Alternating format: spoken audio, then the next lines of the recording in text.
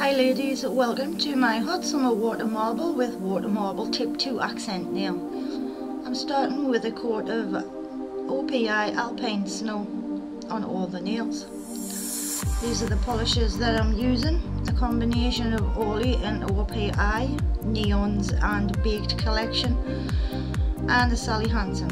I tried about 15 polishes, none of them would work and actually these ones don't really work too well. So you know in the past I've said that Orly and OPI are my favorite water marble polishes they they always prove me wrong. There are always exceptions to every rule.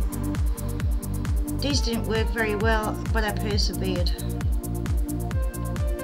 I'm not as happy with the result as some water marbles that I have done before but I'm going to leave it for a day or two because it's not that big of a deal. It's not like I have gel coat on them to make them stay for two weeks. I don't have to tolerate them for that long. You might notice I got my two pink polishes next to each other there and had to swap them over. So there's a mistake on the first nail. As always, I use a Dixie cup with boiled, cooled, room temperature water I'm doing the accent nail first and I have applied a small piece of parcel tape over the nail to mask off the section that I don't want to get polish on. I cut a rounded edge on it to give it a nice rounded kind of shape rather than just a straight piece of parcel tape. It's up to you, you don't have to cut it to shape but I wanted it to follow the natural shape of my nail.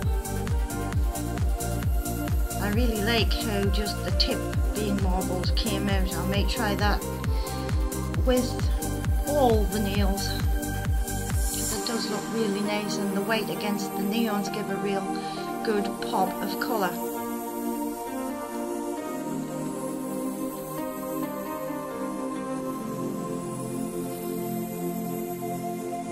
I know that I have not perfected the technique of video tutorials yet and thank you for being my guinea pigs and watching them and seeing that they're good.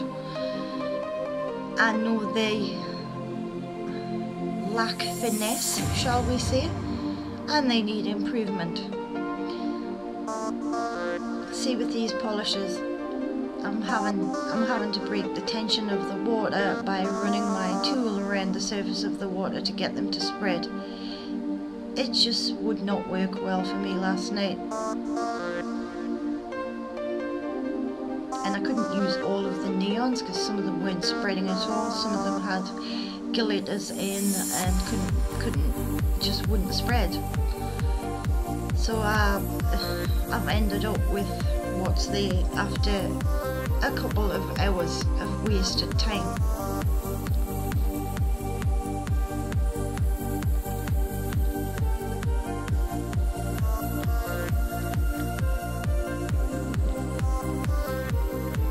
Ladies see these pictures of beautiful water marble nails and very rarely was it just one nail getting dipped into uh, water and everything worked.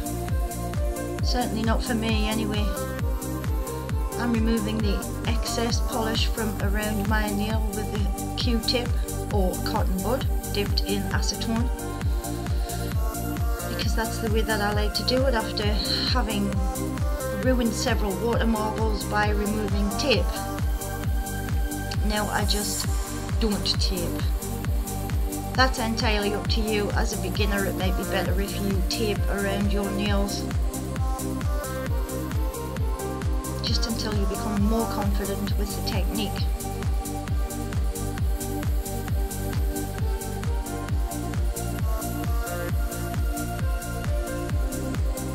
These are really pretty colours and I do wish that, you know, them working together had they had spread better and been more cooperative. As I like to say, my polishes are being a dick. And what you can't see is behind the camera, nine bottles of polish that wouldn't work.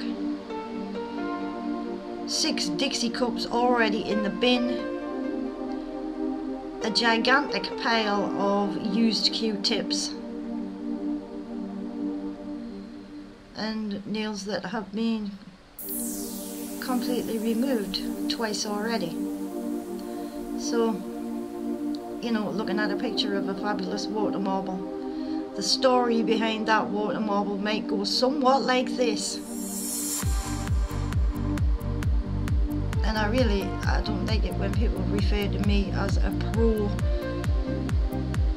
you know, water marble queen and all of that. I feel really uncomfortable because I know the process that it took to get me to that stage.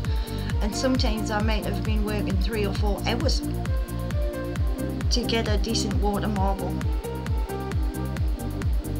I was offered a job in a salon creating these kind of nails. She also wanted me to go to school and get qualified for acrylics and gel extensions.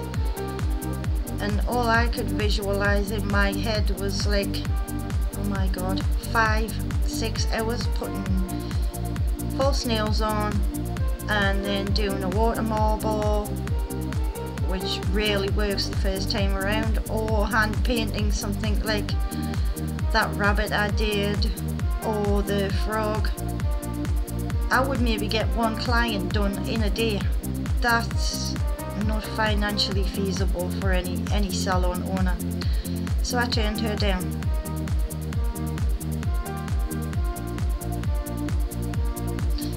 Maybe I could go to salons and teach them how to do water marble.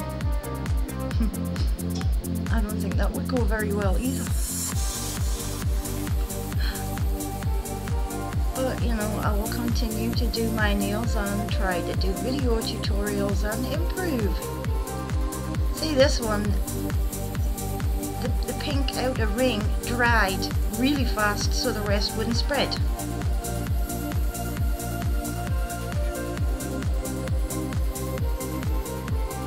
You can actually get a pretty good shot of underneath my nails there. There must be 10 or 12 layers of polish, nail envy, water marbles underneath there. It's the only reason my nails get so long is because the entire surface of them is completely protected by several layers of polish. Now some people might not be able to tolerate that and I know after a certain length of time I will take Q-tips on a brush and clean underneath my nails and really have a good a good clean um, toothbrushes. The lot. And start from scratch.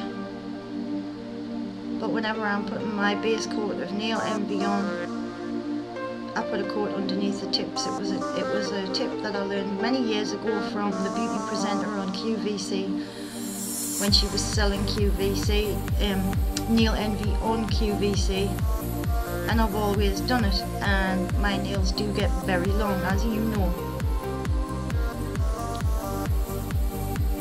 Unfortunately I've taken that to the next level and I just let several layers of polish build up on the backs of my nails but you know it works for me and keeps my nails really long and protected.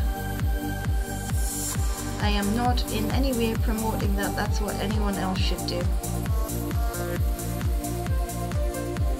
They do actually look disgusting.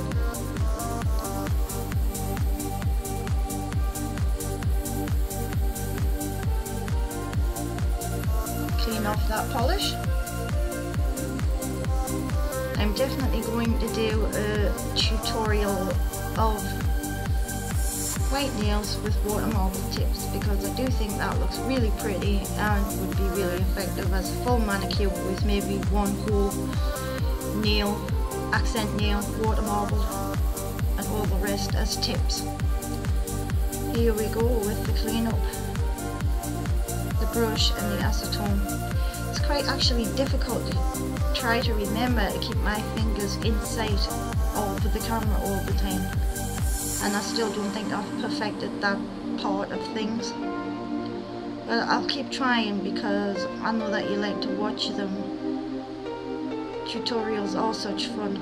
And of course I compare myself to all the people that have been doing them for a long time and know how to work really complicated video editing suites. I don't know how to do those. I just get frustrated and angry and end up losing my video.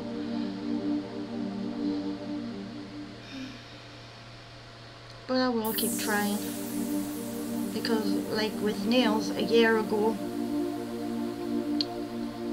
a year ago I couldn't do water marbles. A year ago I couldn't hand paint a rabbit or a frog. But I just kept trying.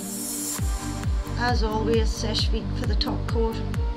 I really would like to try that HK girl because I hear a lot of people raving about how good that is and I know that Seche Vite does have shrinkage issues.